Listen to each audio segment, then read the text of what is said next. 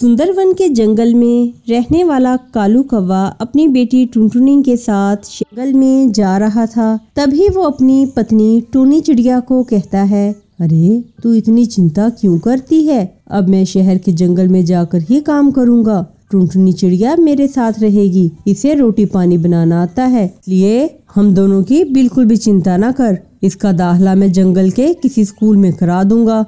फिर ये पढ़ लिख कर बड़ी अफसर बन जाएगी। आगे बढ़ने से पहले अगर आपको एक छोटा सा कांटा भी चुभ जाए तो दर्द होता है। ये बाप ही होता है जो सारा दिन अंगारों पे चलकर दो वक्त की रोटी कमाता है। तो इस प्यारे से पापा के लिए एक लाइक और सब्सक्राइब तो बनता है। साथ ही अपने प्यारे से पापा के लिए एक मुझी भी ज़रूर भेजें। ठीक है, आप चिट्ठी लिखते रहिएगा, मैं भी चिट्ठी लिखती रहूँगी।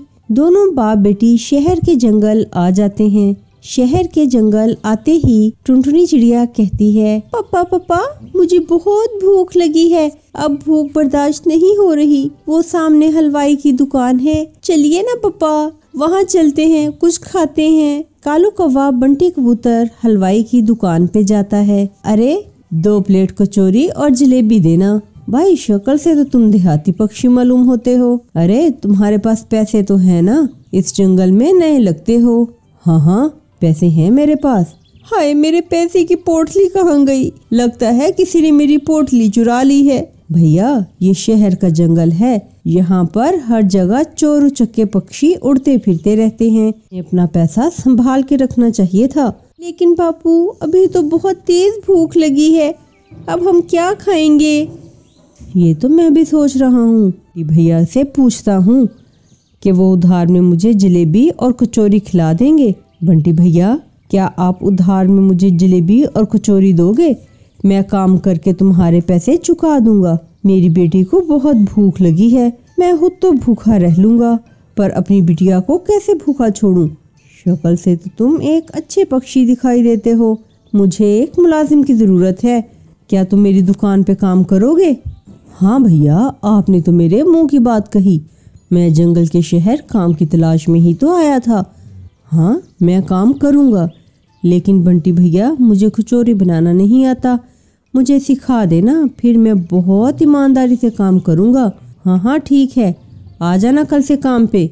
समय गुजरता गया। कालू बंटी हलवाई की दुकान पे काम करने लगा। एक दिन बंटी कबूतर हलवाई कालू कव्वे से कहता है, आज मेरा मन तो कुछ चटपटा खाने को कर रहा है। तुम ऐसा करो, यहाँ से कुछ दूरी पे एक पानी पूरी का ठेला है। तो वहाँ जाओ और मेरे लिए पानी पूरी ले आओ। ठंड में चटपटी पानी पूरी खाने का मज़ा ही कुछ और है। वहीं पे बैठी टुंटनी चिड़िया उन दोनों की बातों को सुन रही थी। वो उनसे कहती है, बंटी अंकल पानी पूरी तो मुझे भी बहुत अच्छी लगती है और मैं अच्छी पानी पूरी बना भी लेती हूँ लेकिन मेरे बापू के पास इतने पैसे नहीं हैं जो मैं पानी पूरी का ठेला लगा सकूँ। हाँ भाई, मेरे पास इतने पैसे नहीं हैं कि मैं टुनटुनी के लिए पानी पूरी का ठेला लगा कर दे सकूँ। ठीक है, एक दिन तू मुझे पानी पूरी बना कर खिला, फिर मैं तुझे बताऊँगा कि तू पानी पूरी बनाकर खिला सकती है लोगों को कि नहीं अगले दिन टुंटनी चिड़िया बंटी कबूतर को पानी पूरी बनाकर खिलाती है। अरे बाबा टुंटनी ऐसी पानी पूरी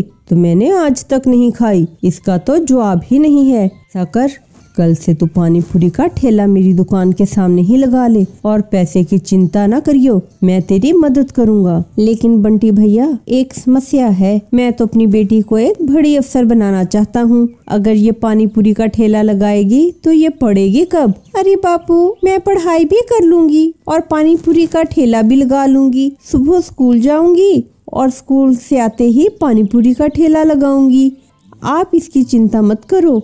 टुनटुनी चिड़िया ने अपने पिता और बंटी कबूतर की मदद से पानी पूरी का ठेला लगाया। आओ आओ, स्वादिष्ट पानी पूरी खाओ। आपने ऐसी पानी पूरी कभी नहीं खाई होगी। आओ आओ, खट्टी मीठी पानी पूरी खाओ। आओ, खट्टी पानी पूरी खाओ। देखते ही देखते पानी पूरी खाने वालों की भीड़ लग जाती है। फिर कालू कौवा अपनी बेटी के साथ मिलकर पानी पूरी का कारोबार करने लगता है और टोनी चिड़िया भी शहर के जंगल आ जाती है और फिर सब खुशी खुशी रहने लगते हैं।